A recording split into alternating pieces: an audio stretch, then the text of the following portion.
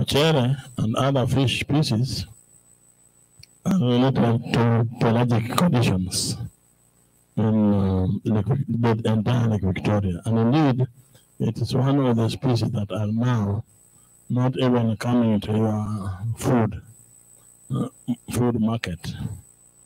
And if you look at your food market, these people have changed the names of fish every now and then. And uh, because either they don't want you to eat it or tonight. Thank you. Thank you very much, JB.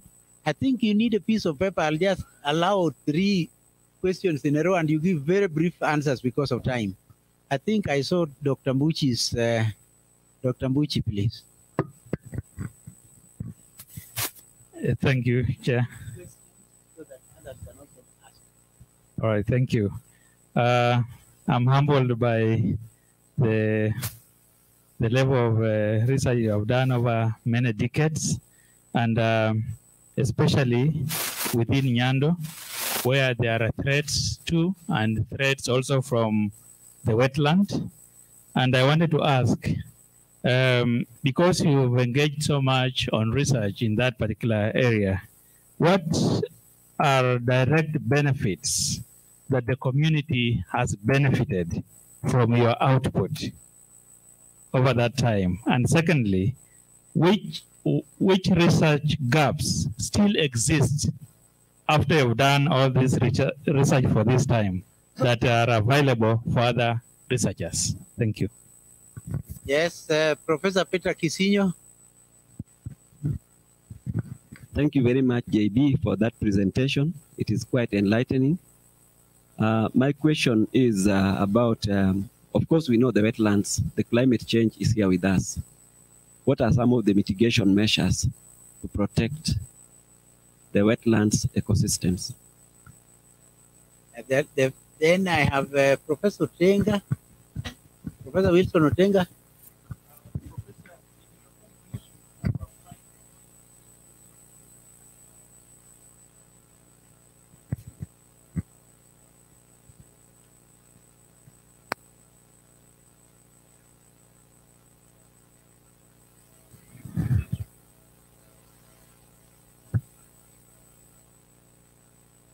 The last round of questions in terms of the first set, Dr. Otieno.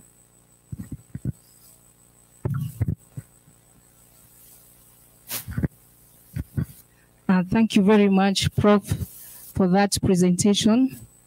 Uh, it's quite eye-opening. I did not know that uh, there's so much benefits that uh, the wetlands are that productive. Uh, from a social scientist perspective, my question is, from time to time, we see people suffering out of uh, the ecosystem. We see people suffering due, due to floods in the wetlands. Yet there are all these benefits. How can the wetlands be harnessed so that it, it is not only a source of suffering to some people, but it also benefits everybody within that environment. We've heard of cries of Serikali's idea. How can this uh, be sorted? Thank you. Your time to respond to those questions very briefly, and then there would only be one round of more questions, and then we close it.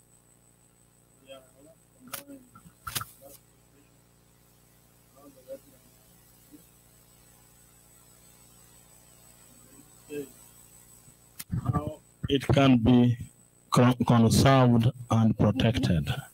Harness. Wetlands are big ecosystems. You can't take it and put it in your pocket. Right? And, uh, and so, uh, because of that, we have to work towards its benefit. Now, it happens that um, issues of wetlands are wide, especially issues like Nyando wetland. It has many benefits. In fact, if you look at that book, you'll find I have listed not less than 10 benefits that people derive from wetland. That's why I asked this uh, young man here to stand up for having uh, dressed in kaunda suit produced from Nyando wetland. I'm sure most of you are not just looking for food, but what level of income? And Nyando wetland has a lot of income that can actually be protected and used. Papyrus alone is of benefit, benefit to a lot of people. If you remember, papyrus is a plant named in Egypt for making paper. So you have woodland plants like papyrus, we don't have to cut trees and so on and so forth. The climate change issue, I did mention that, uh, or jokingly, that uh, comparatively, it is more comfortable to work and stay in the wetlands than working and staying in drier lands. Right? And so, arising from that, then, there are many reasons why wetlands are valuable in mitigating and therefore promoting their existence in mitigating adverse effects of climate change. And I could list, for example, we normally say that uh, wetlands, we normally say that um, climate change leads to flooding, droughts, and so on. But the wetlands filter the flood water and several other things that are disadvantageous to its ecosystem and to the local and indigenous people. Then you have the research gaps. There are many research gaps. Mm. You never finish research. The day you finish your research, it is only you who has finished. Always we work to discover new research gaps and how to solve problems creating. Research is a job. It also creates problems which you must solve. And we have a lot of gaps in Nyando wetland research activities. Much as we say that we have also looked at major challenges that make people not participate in proper conservation of these wetlands. We have also looked at why is it that Kenya government, for example, does not have a clear policy on conservation of wetlands, while Uganda government have a clear policy, and last year the president there declared wetlands no-go zone. If you plant rice there, they will remove it. And that is in the policy. I think what you should have asked is where are we going wrong as an, as a- an institution, as a community living around wetlands, or as a government, and as an international community?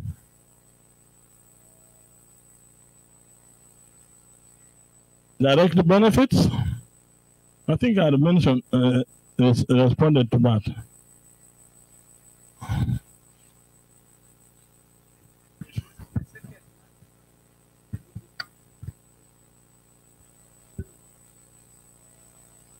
And uh, Prof, before you just ask any question, allow me when we were recognizing our visitors, uh, I apologize. We forgot to recognize our OCS Kitere, Police Station Chief uh, Chief Inspector Samuel Onyango. I thank you so much. You have been very close to us. You have seen the best and the worst of Rongo University when there is strike. we appreciate you being with us and what you have done to this institution. Professor Guyo, and then two more. Then, uh, yes, Nyakiti, and uh, those will be the only ones. I don't see another hand. Ah, there is a third hand. Oh, and a fourth hand. Professor Aguyo, ask your question very brief so that others can also get opportunity. And then Nyakiti, then uh, our council member David, and then the chair of council. Thank you very much, Prof. Professor. I come from one part where there's also wetland. And over the years, we have been getting out at four and getting catfish. The last and miss the catfish. Do you have catfish on that wetland part?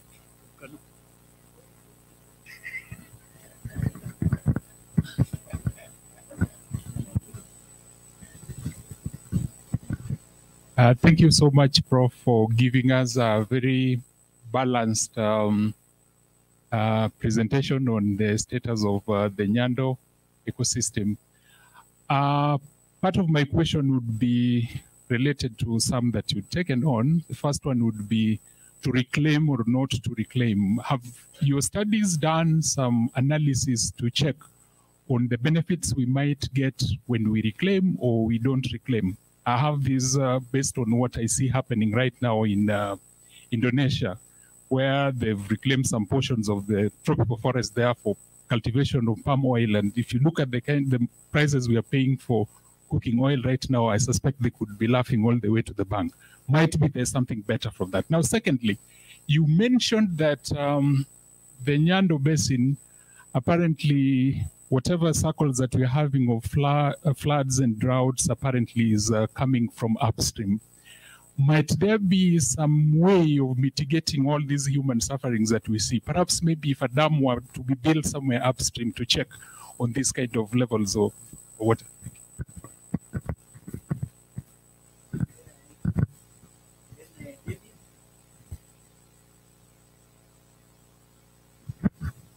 Thank you very much, uh, Professor K.O. Ward, for your presentation. I think that um, the issue of uh, wetlands has come from very far because I remember that um, in early 80s we were talking about reclamation, and uh, now you're in Lake Basin. I was also in Lake Basin, and there was a time when we were seriously thinking of continuing to reclaim the Yala Yala um, Yala swamp, and uh, there are many uh, studies which have been done, but that's not my my question. Is that um, I didn't hear or what is the the effect of hyacinth in the ecosystem of Nyando?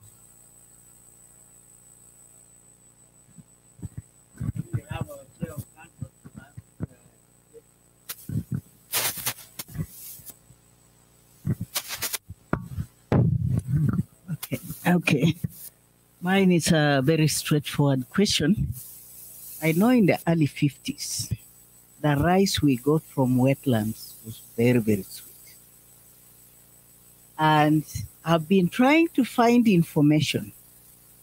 What is it in the wetland soil that gives different types of fruits and even uh, cereals a special taste?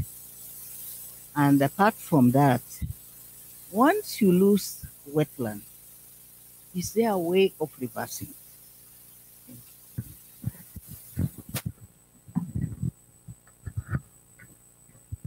The final question is from uh,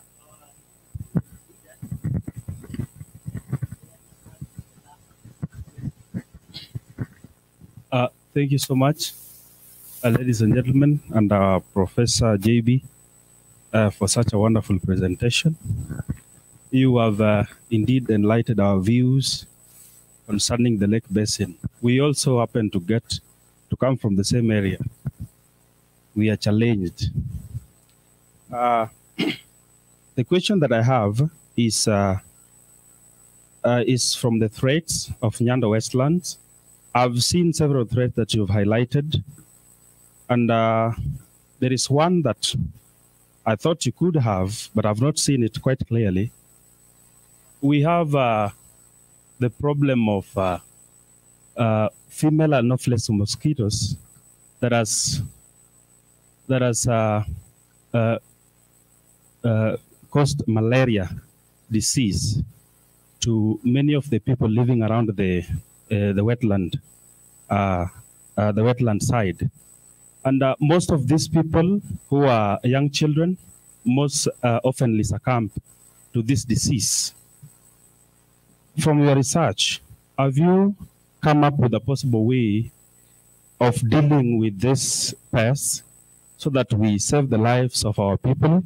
Because the possible ways of controlling uh, the mosquitoes and malaria that we have at the moment have failed to sufficiently deal with the problem. That is to mention nets and, uh, and pesticides. Thank you.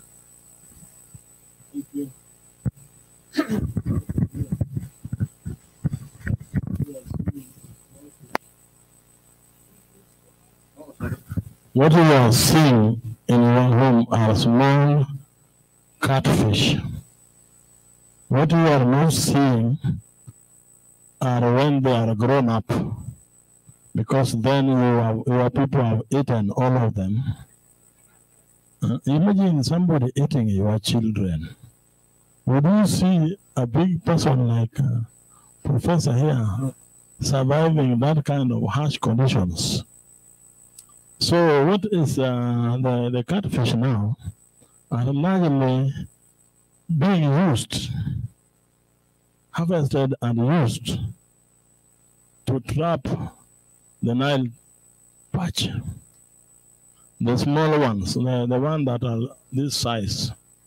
So there is no way they are going to grow to adults. And therefore there is no way you are going to eat that beautiful big catfish. At Lake Basin, we started uh, a catfish aquaculture.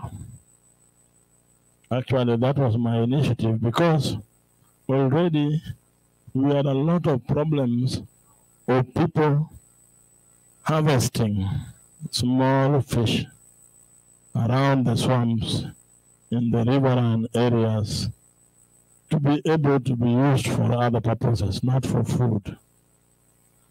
And today, you can see what is in the lake and even the fringing areas of um, of Nyando wetland. A lot of cage culture,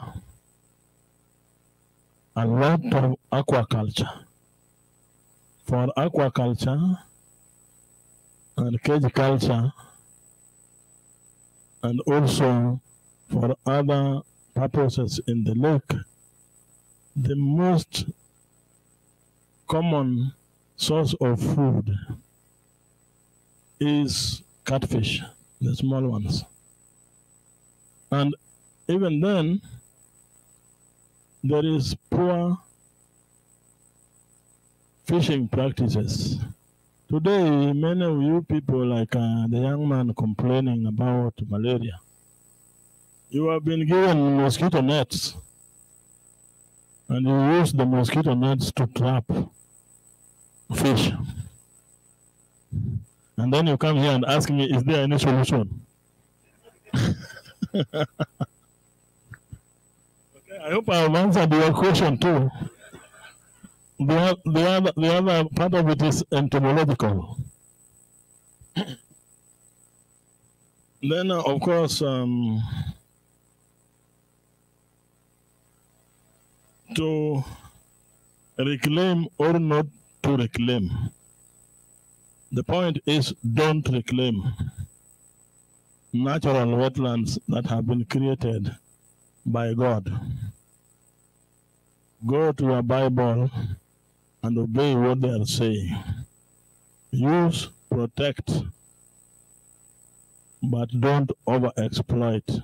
Don't reclaim and therefore don't damage. I hope that is uh, clear. Mitigating what? Water hyacinth, yes, water hyacinth. I was in the middle of water hyacinth uh, debate and activities when the plant was introduced in Lake Victoria. Just like um, uh, Mr. Alabes a Chien.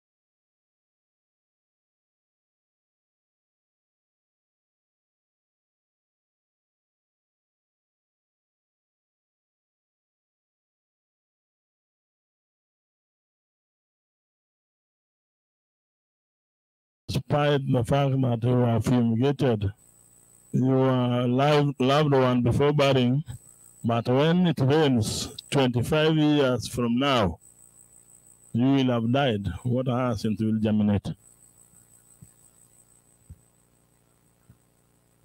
Yala swamp. I think that's the same thing. Do you agree? Yeah. Nice. Yeah. Uh, uh, Chair, I like you for this thing. I was also there when the rice was very nice. But it has nothing to do with the with the wetland rice. It has to do with plant breeding. When you are breeding, plant breeders who are here, like uh, Professor Guyo, forget the quality of taste. They go to the quality of high yield. And taste and high yield are opposite partners. They sleep in the wrong side of each other. So you lose one factor and gain another one. Most of the rice varieties that you, you used to see and I used to see in 50s were local rice varieties.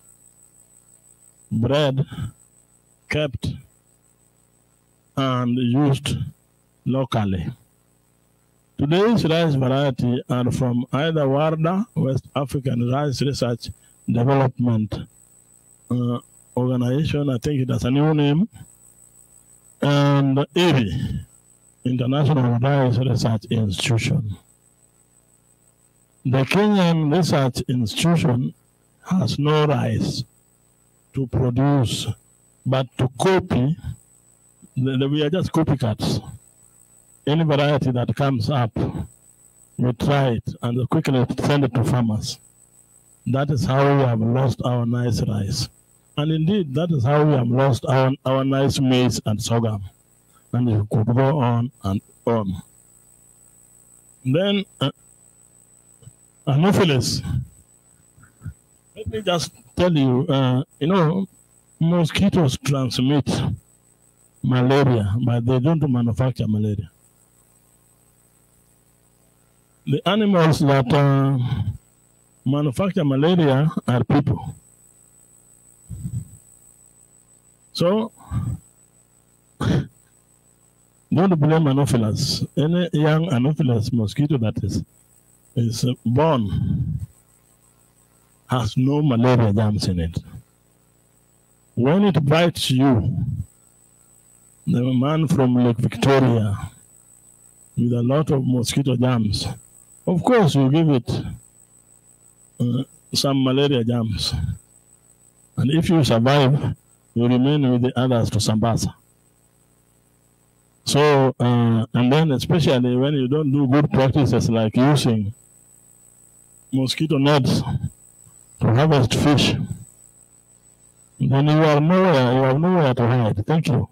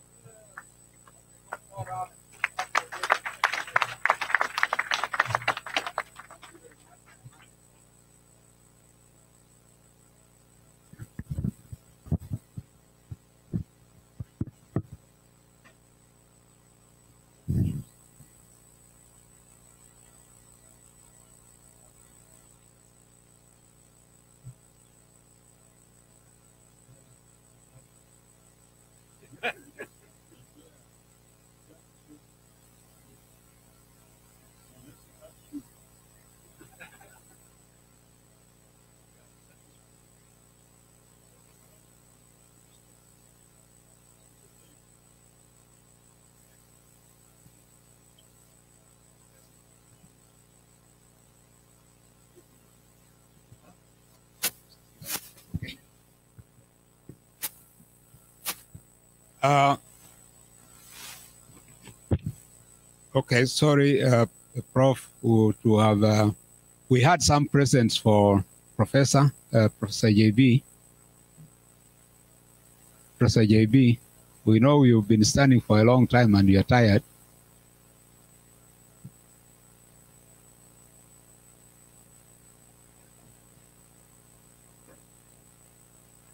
Uh, yes, uh, Prof. Sorry, we, we know you are tired, but uh, we had some uh, something for you on this occasion.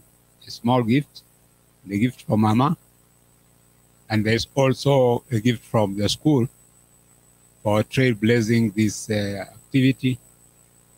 And I was going to ask the, chair of council to give you the gift from uh, to give you the gift and a member of uh, council, Catherine, if you could uh, give the gift to Mama, and Professor Senior to give the gift from the school to uh, uh, Professor JB. Uh, so, Prof, if you could just go up front.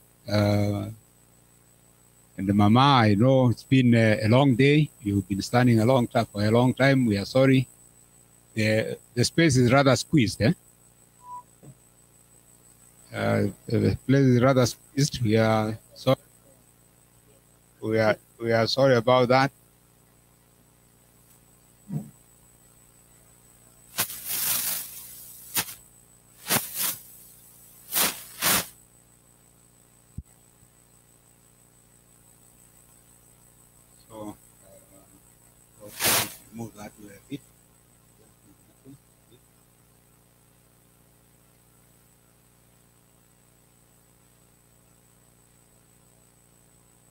Professor for trailblazing the inaugural, inaugural lecture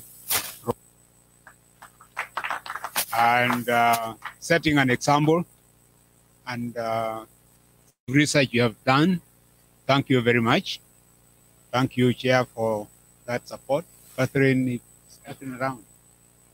Catherine, if you could, uh, uh, Mama, tunashukuru sana kwa sababu uli, ulimpatia profesa nafasi kufanya hii kazi ya research na kuandika.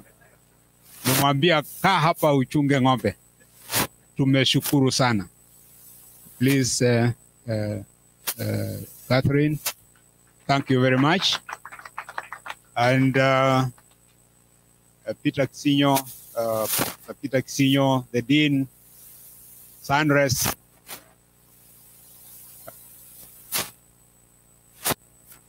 again, they are grateful that you have set the you have set the pace, and they want to thank you. In hope that sooner than later they will get a, a gift such as you are getting today. Thank you very much, uh, Professor Peter Kisinyo, please.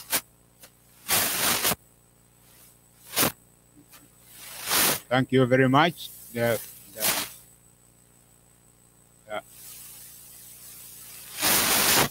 Thank you very much.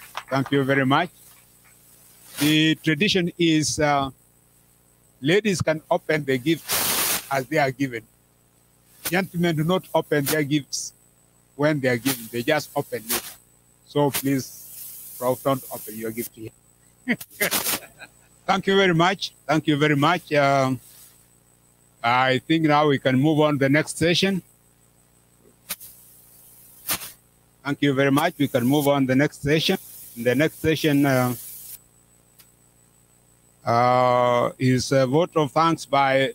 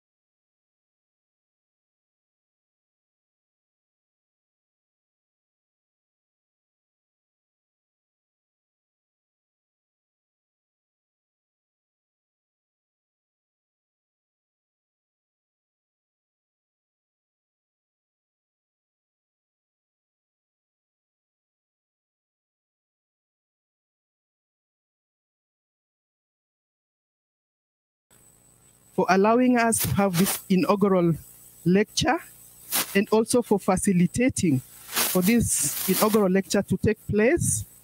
A lot of input has gone in, a lot of funding and financial support. We sincerely thank you for providing the finances that have made this day successful. We also thank you for being present in this uh, lecture. You, you, you have inspired us, those, who are, all those of us who are coming behind, that indeed you are together with us in all the activities that are taking place in this university. And we are so grateful. We are really humbled by your presence in this place. Thank you so much. I want to thank uh, Professor JB for this kind of work that you have been undertaking. I know it has taken you so many years and so much resources, but you've done it for the good of communities, for the good of the academia, and for the good of this country as well as internationally. We just want to say thank you so much for producing knowledge and also for coming up with evidence that will be useful for our policymakers as well as our practitioners, even to be able to change the life of our people. We thank you, the family of Professor, the wife, for allowing him to do all this work, and the rest of the family for the, the support that you have provided him all along, and also for attending to this inaugural lecture. We really thank you. To the professors who are present, thank you for every support you have provided to the professor, to the section of research, and to the university as a whole, so that this great occasion could be able to take place. I also want to take uh, this opportunity to thank all the deans, all the head of departments, and all the members of academic staff, as well as all the other staff, for being here and for every support that you have accorded, Professor. I know sometimes it's never easy to do something alone. We all need support from other people. And you have been useful in provi providing this kind of support. Thank you so much. And I pray that you continue to support others. Thank you, Prof, for being a mentor. You have continually mentored us. And some of us are growing because of him. Thank you so much, Professor. And all the other guests that I've not mentioned, thank you so much. Thank you so much for, for being here, our security. Thank you so much for being with us and for making us safe in this place. Otherwise, I again thank God for granting us this auspicious occasion. And I want to say that may God bless all of us, even in this place, for this occasion. Thank you so much.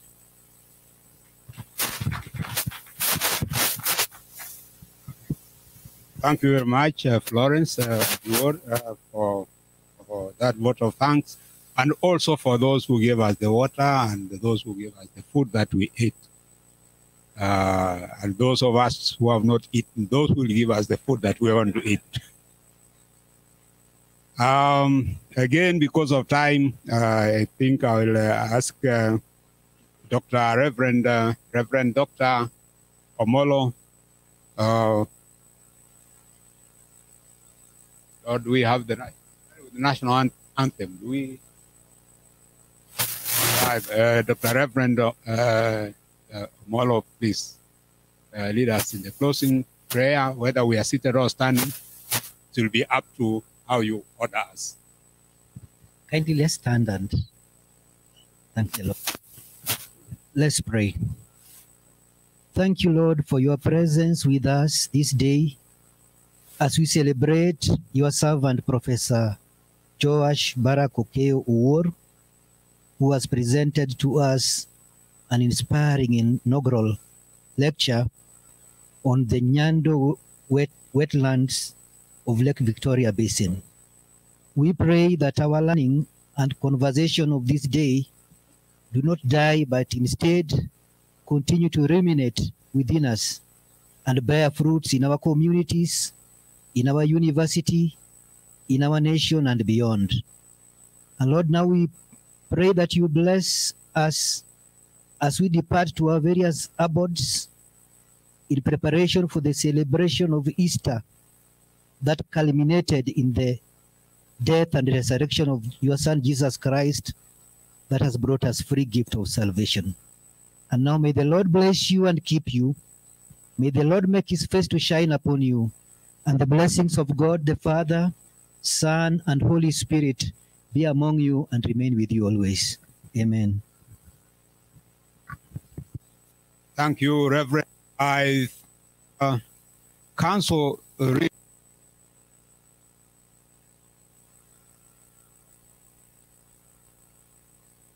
no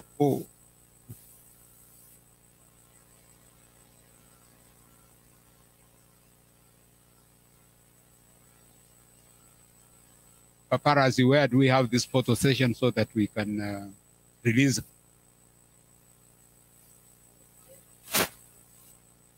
and let's go uh, please, uh, honor your most prominent son the firstborn in of the events